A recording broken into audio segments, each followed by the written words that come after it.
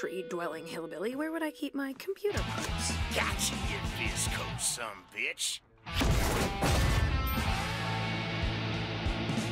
I'm not from FizzCo. What do I look like? An asshole?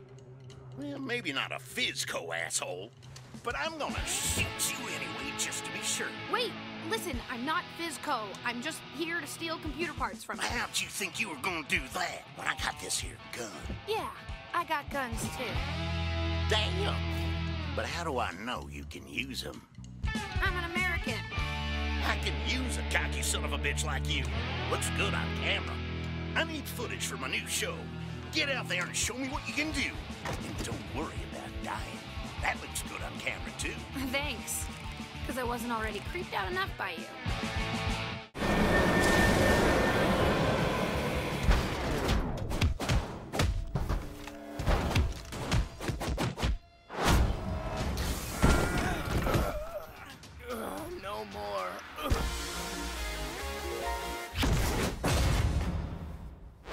Real cream is in a garbage truck, but they didn't know where. Truck, huh? And the whole garbage system is automated. The trucks are equipped with GPS transmitters. If you come back to our base, I might be able to figure out a way to track it down.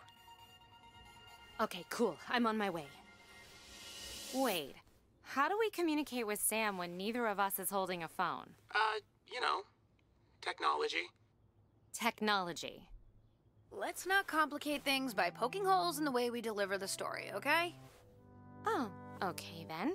I'm gonna go back to the base and be magically gone by the time you have control. Fine by me. That's not weird at all.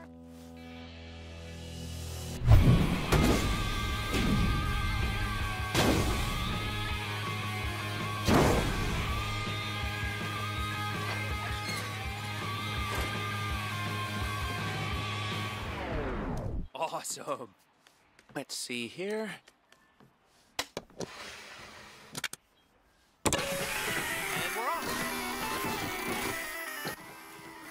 You do find a way out of the city, you'll come back and rescue us, right? Come back to Sunset City?